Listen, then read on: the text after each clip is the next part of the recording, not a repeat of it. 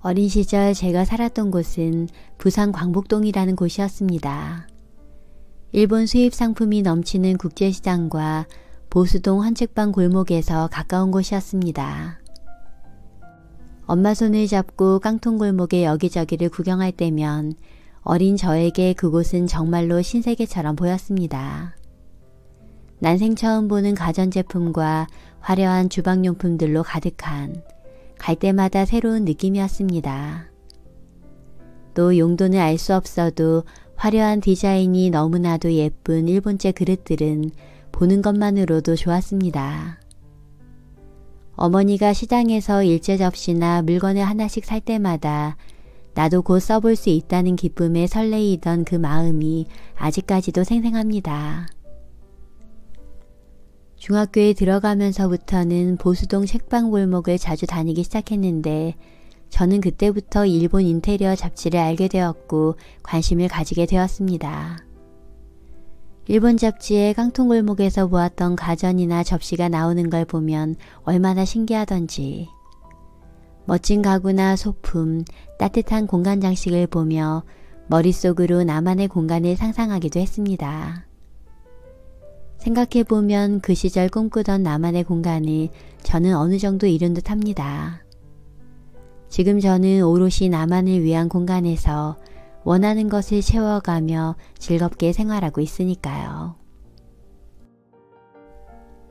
저는 올해로 혼자 산 지 20년이 넘었습니다. 나이가 많다는 기준을 어디에 두느냐에 따라 다르긴 하겠지만 나이도 꽤 많이 먹었죠. 대학을 졸업한 뒤 서울에서 취직했을 땐 직장과 가까운 곳에서 하숙을 했고 2010년 1월부터 일본에서 살게 되며 진정한 1인 생활자의 살림을 시작하게 되었습니다. 한 사람을 위한 밥상이나 네 명을 위한 것이나 양만 차이 날 뿐 음식을 차려내는 수고로움은 크게 다르지 않죠. 살림도 마찬가지입니다. 4인 가족 살림에 필요한 것이 10가지라고 했을 때 1인 가구 살림에도 그 10가지는 필요합니다. 규모의 차이만 있을 뿐이지 1인 가구를 위한 살림이라고 해서 단순하거나 간단하지 않습니다.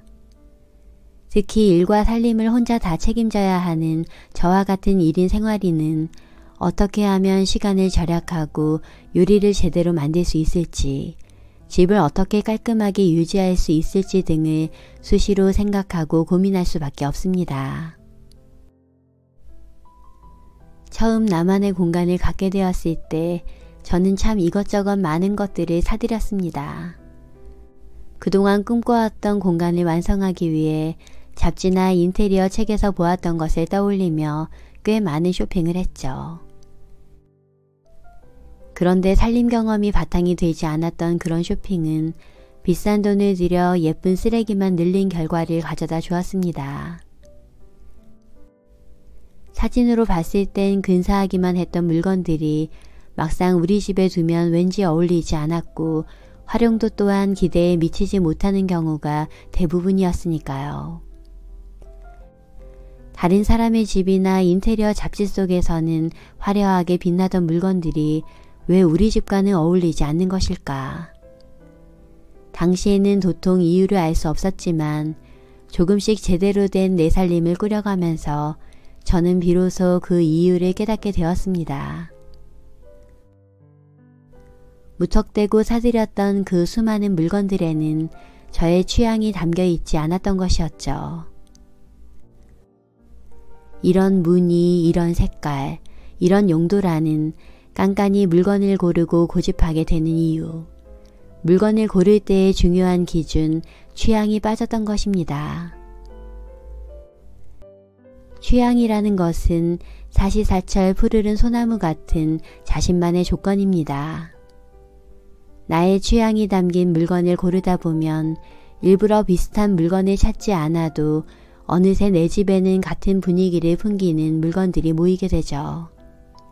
그러다 보면 특별히 인테리어를 하지 않아도 자연스럽게 어우러져 그 공간만의 분위기가 생겨납니다. 내 스타일의 인테리어가 자연스럽게 완성되는 것입니다.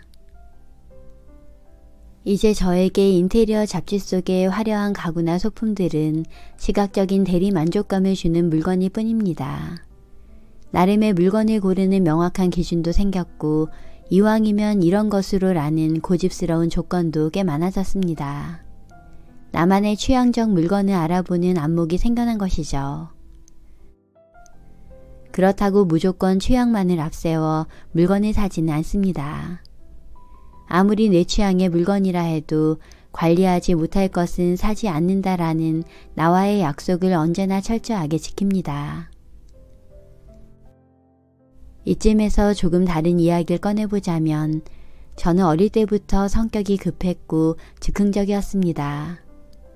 뭔가가 머릿속에 떠오르면 바로 해버려야 하는 성격이었죠. 그런데 막상 살림을 살아보니 그 즉흥적인 성격이 별 도움이 되지 않았습니다. 아니 마이너스로 작용하는 경우가 더 많았습니다. 소비도 마찬가지였습니다. 물건을 사는 일이 충동적으로 이루어지는 경우가 많았습니다. 필요가 아닌 단지 마음에 든다는 이유로 즉흥적으로 물건을 사서 집에 들이다 보니 쓰지도 않는 물건들이 내 집을 적잖이 채우고 있다는 것을 어느 순간 깨닫게 되었습니다.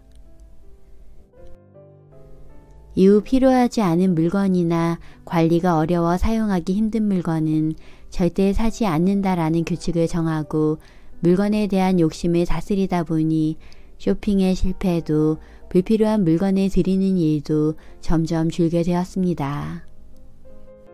나에게 꼭 필요한 내가 좋아하는 물건만 있는 집.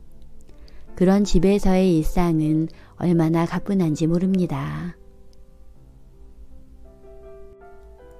저는 살림의 중심은 주방이라는 생각을 가지고 있습니다. 반짝거리는 스테인리스 싱크대, 찬장에 정갈하게 정리되어 있는 새하얀 그릇, 눈부신 햇빛 사이로 펄럭이는 린넨 행주, 나뭇결이 살아있는 도마, 살림이라는 단어를 떠올릴 때면 자연스럽게 이런 풍경들이 그려집니다.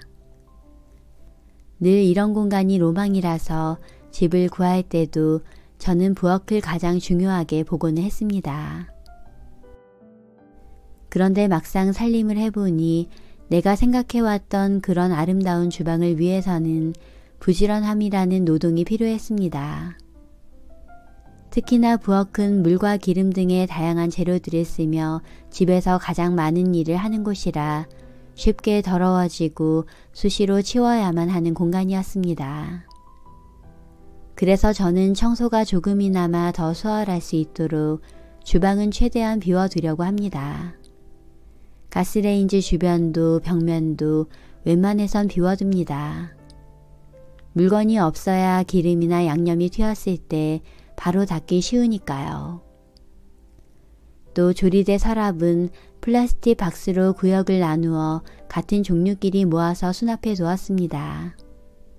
토치나 라이터, 고무줄 등 부엌에서 필요한 자잘한 것을 한 곳에서 찾을 수 있도록 해둔 것이죠.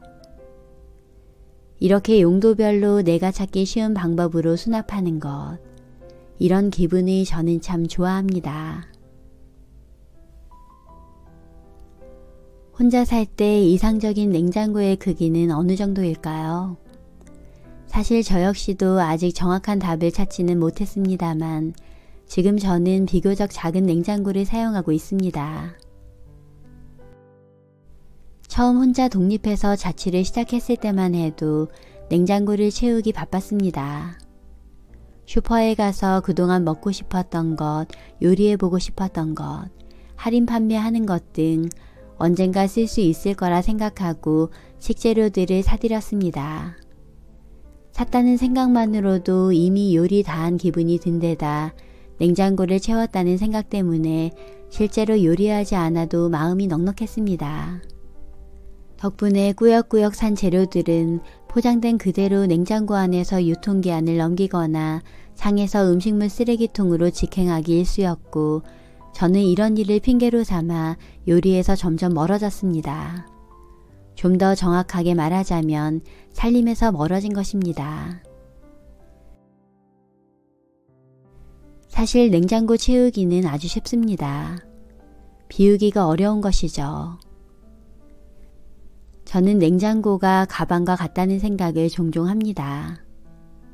큰 가방일수록 많이 담게 되죠. 공간이 충분하다는 생각에 당장 쓸모는 없지만 필요해질 수도 있는 것들로 이것저것 챙겨 넣게 됩니다. 반대로 작은 클러치백을 들 땐 정말 없으면 안 되는 것만 넣게 됩니다. 그렇게만 가지고 외출해도 사실 아무 문제가 없습니다. 냉장고도 이와 같은 것이 아닐까요? 공간에 여유가 있으니 그만큼 자꾸만 채워 넣게 되는 것입니다. 지금 우리 집에는 작은 용량의 냉장고 한 대뿐이지만 생활하는데 전혀 불편함이 없습니다.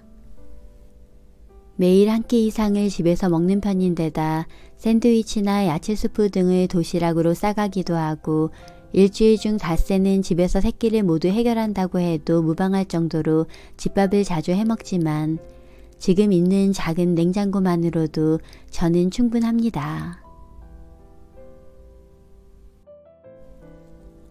주 5일을 규칙적으로 근무하는 직장인에게 주말은 정말로 꿀과 같은 시간입니다. 다음날 출근하지 않아도 된다는 안도감만으로 마음이 평안해지니까요. 주말에 늦잠을 자고 늦지막히 일어나면 모아두었던 빨래를 정리해 세탁기를 돌립니다.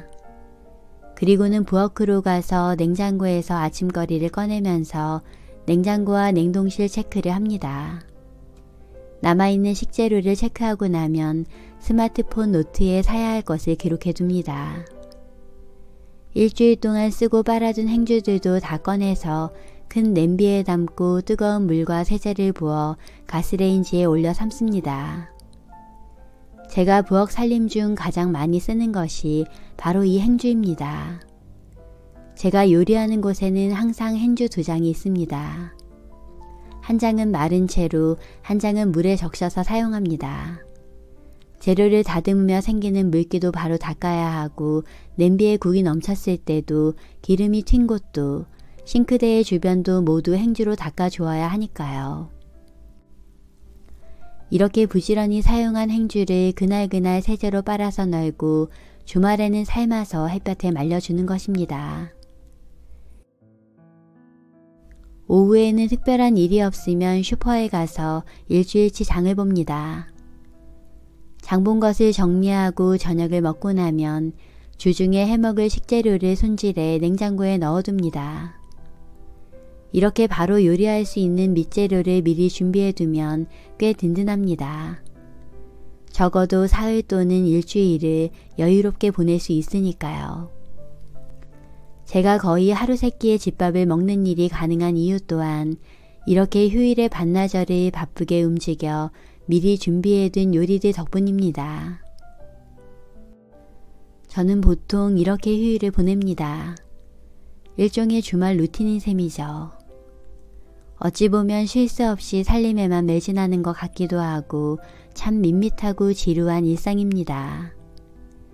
하지만 저는 이런 단조로운 날들을 소중하게 여깁니다. 이렇게 익숙하게 이어지는 생활 패턴이 내 삶의 결을 단단하고 매끄럽게 만들고 있음을 느끼게 해주니까요. 살림살이를 한다는 것은 스스로의 삶을 돌보는 일이기에 인생에 있어 중요한 일을 하는 것임이 틀림없습니다. 그러나 살림은 매일 반복되는 지루한 노동으로 여겨지기 쉽습니다. 성실함이 필요합니다. 하지만 그 지루한 노동 끝에는 분명 즐거움이 있습니다. 매일 묵묵히 내 손길이 다 쌓이는 시간들은 나이테처럼 시간이 갈수록 짙어지고 단단해져서 일상의 평온함을 만들어 주니까요. 저는 그런 잔잔하고 매끄러운 일상이 참 좋습니다. 건강한 일상을 꾸려나가는 일이 참 즐겁습니다. 매일 따뜻한 아침밥을 지어 먹고 도시락으로 먹을 샌드위치를 만들어 출근을 하고 퇴근을 해 집에 돌아와 저녁을 만들어 먹고 주변을 정돈하고 나만의 시간으로 하루를 마무리하며 자신만의 세간을 가지고 지킨다는 그 유일함과 소중함을 오늘도 저는 깨달아 가는 중입니다.